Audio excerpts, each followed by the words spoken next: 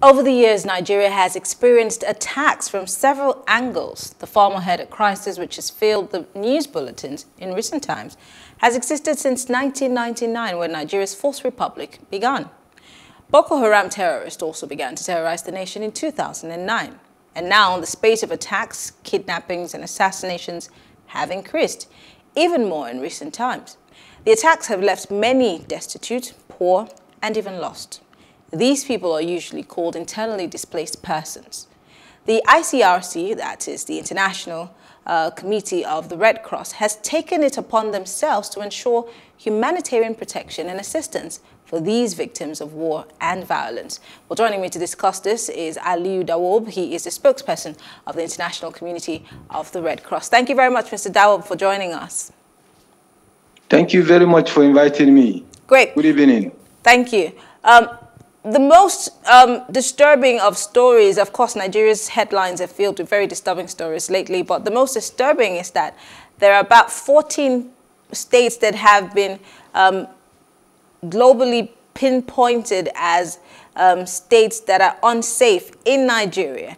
And of course, some most of those states are in the north and some, some parts of the south, south and the southwest. But um, for someone who's worked in these troubled zones for a long time, paint us a picture of what's going on in, in the northern part of the country. Um, thank you very much again uh, for inviting me into this program. Um, the northeast of Nigeria has been having these uh, issues of uh, conflict for more than a decade now. Um, a lot of people have been affected. Thousands of hundreds of people have been affected. Uh, they live in camps, actually, in very, very dilapidated conditions, very poor conditions. Um, they are in need of a lot of basic things uh, that has to do with uh, like water, food, shelter, medication, uh, just to, to, to, keep their livelihood. They really need these basic things. Nobody talks about other things that are really not basic, but they, what they need presently is the basic things for their survival. Um, a lot of other uh, people are separated from their families. Uh, from our record, we have about 24,000 people uh, registered in our organization because some of the people know that we support in terms of um, reuniting families that have been separated. So people come to us, and now we have a figure of 24,000 people that have registered and are trying to, to, to get re reunited with their loved ones. Uh, either uh, parents or children or uh, husbands and wives. This, these are some of the people that are looking for. 60% of these people are actually uh, children uh, that, are, that are missing. So, like I said, this is like just a picture. Uh, the primary health center is no more working. Uh, secondary health center is equally uh, sometimes uh, because all the healthcare staff that have been there in these remote areas have deserted these areas. Hmm. So the primary health centers are not actually working as they are supposed to be working. So these are some of the challenges uh, displaced people can face in the northeast of Nigeria and also in other parts of Nigeria where we are having conflicts and other situations that are related to violence uh, in the country. Um, I, I know we noticed that there have also been attacks on these people who work with NGOs, humanitarian agencies like yours, and um, this has also caused some some form of shortage of people to help um, these displaced persons. Um, recently, there was an attack on a UN hub somewhere uh, in, in the north again. And, and I remember the kidnappings of some um, aid workers. Um, how, how do you, I'm trying to put it the best way, how do you get the, the the energy to get back to work when you hear the next day that your colleague has been kidnapped or someone was killed from your camp. Um, what's the driving force for people like you to continue to work in these places? Because it's, of course, the conditions are harsh and you do not know who's going to attack next. Uh, thank you very much for this uh, for these comments that you have made. Humanitarian actors are actually very busy trying to support people that have been affected. It is very unfortunate that we have some of our staff uh, being affected during this uh, conflict that is going on. It's unacceptable to, to kidnap or abduct humanitarian actors in the course of their, their duties. This is unacceptable. International humanitarian law says no to this, and we call on all the actors to understand that humanitarian actors, the International Committee of the Red Cross specifically, does not participate in the conflict that is going on. What we do is mainly to try to see that we have supported people that are affected. Mm. People are affected are mostly civilians that are affected by the conflict. Yes, of course, we have these situations. 2018, we had two of our staff that have been uh, one Saifura. We still have them in our minds. We still remember them. Uh, very, very unfortunate that they were abducted and finally they were killed. This is something that we always try to call on actors uh, to understand that humanitarian actors, health workers are actually people that are out there to support the people that have been affected. Uh, denying them access to people that are affected is actually not uh, something uh, to do. So we encourage people to allow access so that civilian populations that have been affected will have access to medication, will have access to food, will have access to shelter and also sanitation and so on and so forth. So this is our appeal to all the people that are engaged in fighting, all the armed groups that are fighting, to be able to respect humanitarian actors and to be able to respect the International Committee of the Red Cross uh, in Nigeria and across uh, the globe. Let's talk about the issue of migration. There's been a lot of, in fact, there's been mass migration from Nigeria, and it didn't start today. It started from when the issues of Boko Haram continued to um, hold sway.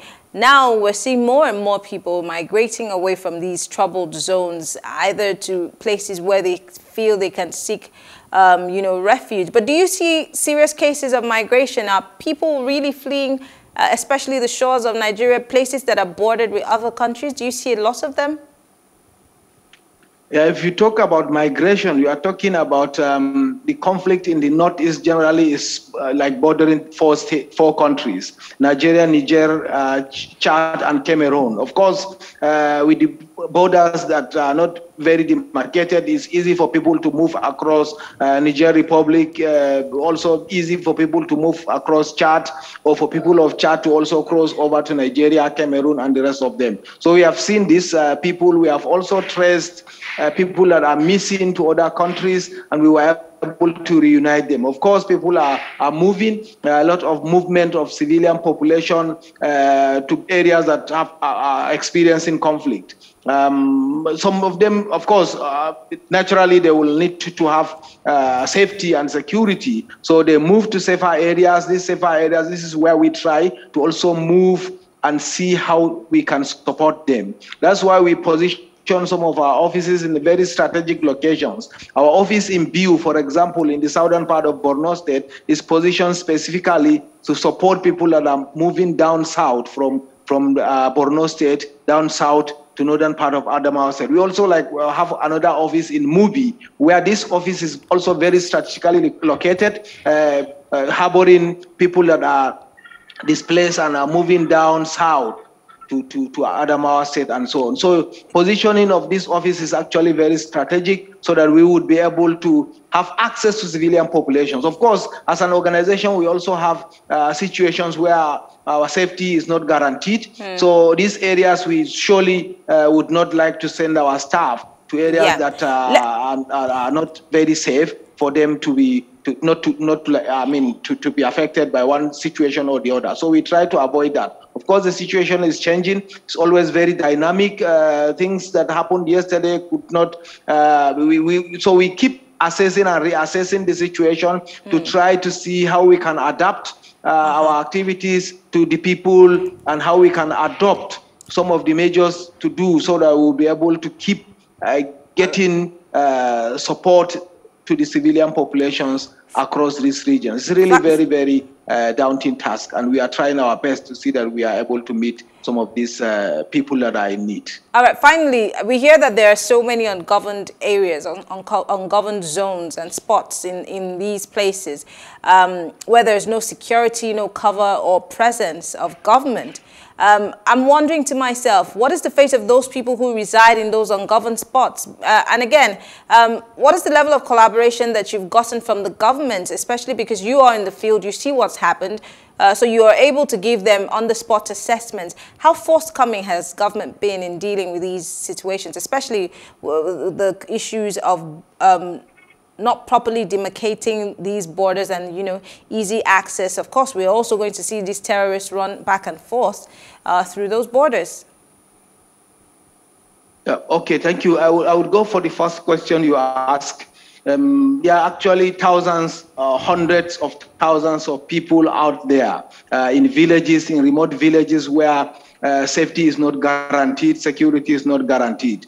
These people, uh, we always have them in mind because we don't know how they are able to get food, we don't know how they are able to get medication, we don't know how they are able to continue with their livelihood in these areas. So we still have them in our minds, and we are actually very committed to see that once we are able to get some uh, guarantee, security guarantee to get to these places, this is something we are really happy to do, to be able to support these hundreds of thousands of people that are not uh, accessible in these areas. This is our, our, our, our, our, like our hope that we will be able to have this. Um, uh, a lot of, uh, like I mentioned earlier on, a lot of uh, structures have been uh, destroyed out there.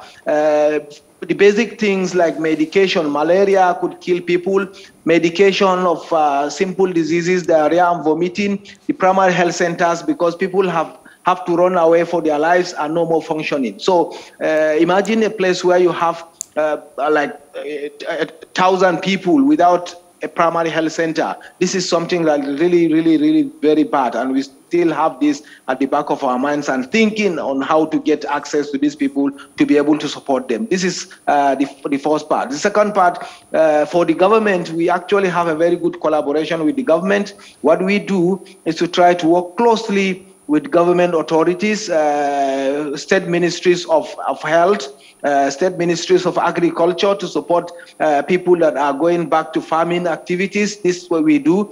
People that are um, like uh, supporting primary health centers. We also work closely with the primary health centers uh, and the state okay. ministries of health. This is a very okay. good collaboration that we have with the government. Okay. Also, we work closely with the armed forces, uh, trying to, to, to train them also on, uh, and also to remind them on international humanitarian law, so that uh, in the course of their engagement, they should be able to know that there are rules to respect in the course of our operations. So right. this is like uh, some of the collaborations. Like I, as in Maiduguri, for example, we, we, we have to go. Unfortunately, Mr. Dawa, we're, we're out of time. We're out of time, unfortunately, but I want to thank you because you have been able to do justice to all of this um, questions that we've put across to you. We want to appreciate the ICRC for uh, the job that you're doing for the people in these troubled zones. Um, Aliyu Dawobe is a spokesperson of the ICRC, that's the International um, Commission for thank Red Thank you for Cross. inviting me. All right. Well, I want to thank you all for being part of the program tonight. I am Mariana Cole. Have a good evening.